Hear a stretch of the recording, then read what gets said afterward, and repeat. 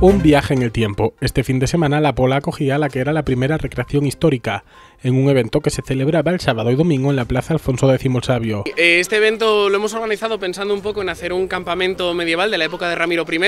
para enseñar un poco las diferentes maneras de vivir que tenía la gente en aquella época, con una parte militar y una parte un poquitín más civil que tenemos en el resto del campamento. Durante el fin de semana se recreaba con total rigor histórico un campamento de la época de Ramiro I. Sí, bueno, aquí tenemos eh, en general diferentes tipos de armas y armaduras, toda la panoplia que se utilizaría en el, en el siglo IX y tenemos desde espadas de diferentes, realmente un poco de diferentes épocas, tenemos prácticamente desde el siglo IX hasta casi casi casi el siglo XII,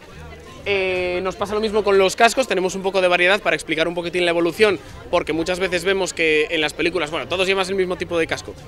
Realmente los cascos evolucionan de la misma manera que evolucionaron las armas de fuego, no es lo mismo un fusil de asalto de hoy en día que lo que podría llevar a la triste, ¿no? Entonces, eh, lo que queremos es mostrar un poquitín esa diversidad que la gente no suele conocer de, la Edad Media y ver que realmente la diferencia de épocas sí que tenía una, importancia muy grande a la, hora de cómo, se, cómo era la vida en ese, en ese momento. Una exhibición en la que explicaremos eh, cómo exactamente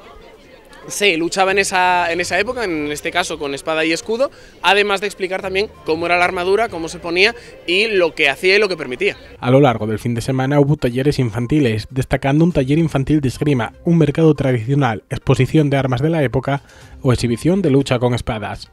Se programaban además charlas temáticas sobre los vestidos, telas y tintes, así como de la belleza femenina de la época o del estilo de vida de la población. Varias charlas, eh, charlas que incluyen tanto el trabajo de cuero en el siglo IX como el sistema de, tintado de las diferentes telas, eh, charlas sobre eh, belleza, incluso algo de salud